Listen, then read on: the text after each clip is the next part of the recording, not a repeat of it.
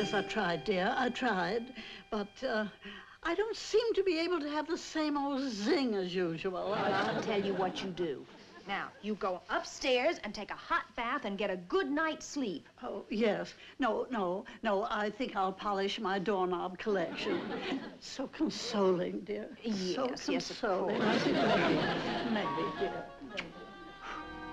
I'll take some clothes to Darrin.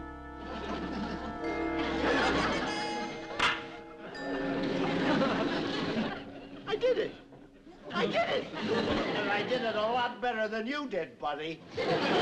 Now, Darrin, I'm so terribly sorry about all this. You want me to spring you? no. I'm in enough trouble with the law already. What's going to happen when you have to face the judge? Somehow I have a feeling things are going to be all right. So don't worry, honey. Hey, just a minute, buddy.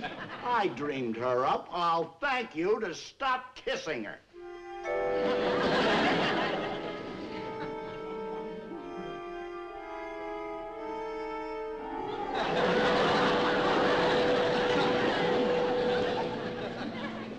Good night, sweetheart.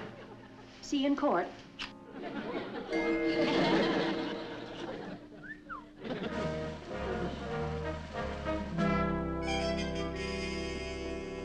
So before I could write out a ticket for parking in front of a hydrant, somehow he shucked off his clothes, which is another violation.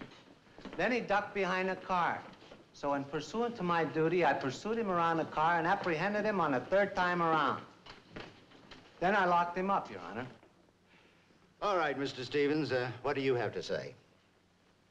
Your Honor, I don't like to contradict an officer of the law who was pursuing his duty, but how could I have been taken from my cell fully clothed this morning if I was in my shorts when I was locked up?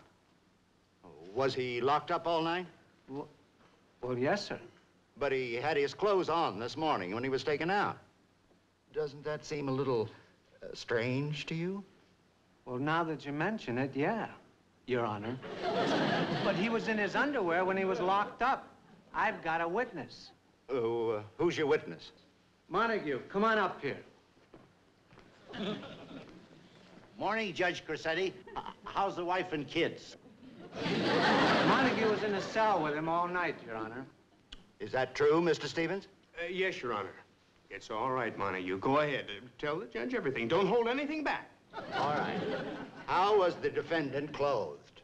Judge, you should have been in that cell. Never mind the uh, wishful thinking. How was the defendant clothed?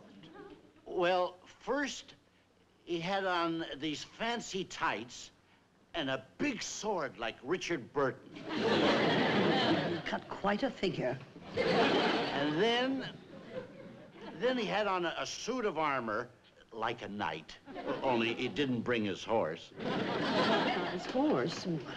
Oh, oh, oh, and he clanked around for a while. All right, Montague, I think I've got the picture. Uh, just tell me one thing more. Where did he get the clothes that he's got on now? A beautiful girl appeared in the cell with some clothes on a hanger. She just gave them to him.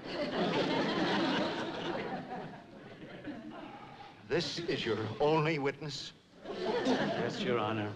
I see. You're dismissed, Mr. Stephens. Thank you, Your Honor. And you too, Montague. Thank you, Judge. Uh, be seeing you. Officer, I'd like to speak to you a minute.